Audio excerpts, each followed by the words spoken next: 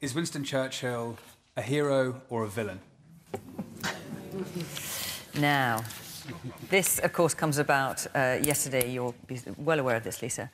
Uh, the Shadow Chancellor John McDonnell was asked a, a, a, question where he could only give a one-word answer, uh, hero or villain. He was asked that about Winston Churchill, and he said villain because of uh, Churchill's actions during the uh, Tonypandy miners' strike, strike back in 1910. hero or villain? With, well, with no disrespect to Dipesh, who's reflecting something that has consumed a lot of national debate in the last 24 hours. I really do think this is a stupid question, and I think this is why you're getting a stupid answer. And frankly, I'm sick to death of a political debate that tries to reduce things to yes or no good or bad. But if it was a stupid question, no, he's a no. Shadow Chancellor. Why didn't he just knock it back like Grace did as a stupid question? He took the opportunity and we saw what he well, really well, thinks. And, and, no, no, but he, he didn't see what he really thinks because then he's been out this morning having to talking in real terms about the legacy of Winston Churchill. And look, th this is really, really dangerous stuff. We've seen it with the Brexit debate and we're seeing it with many of the conversations that we have in our political discourse at the moment. It is poisoning it.